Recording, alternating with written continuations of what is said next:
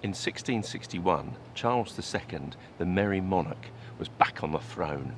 And on the site of what would become St Mary le Strand, London celebrated by erecting a 10 story tall maypole.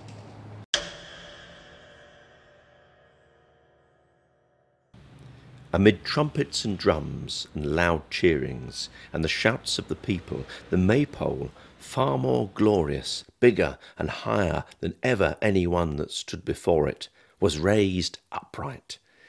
And the little children did much rejoice, and ancient people did clap their hands, saying, Golden days began to appear.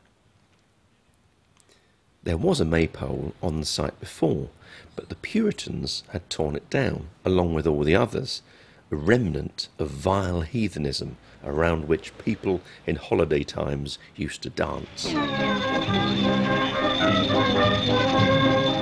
Now, you can argue about May Day evolving from Beltane and the celebration of the return of the sun, but sadly, there is no evidence that the maypole itself is anything older than medieval.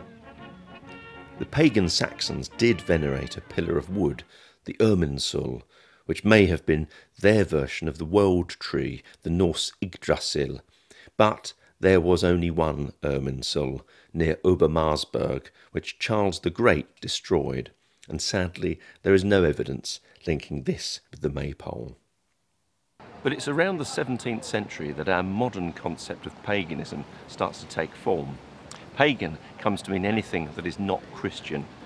And it was in the years that followed that paganism started to be seen as a conscious alternative to Christianity.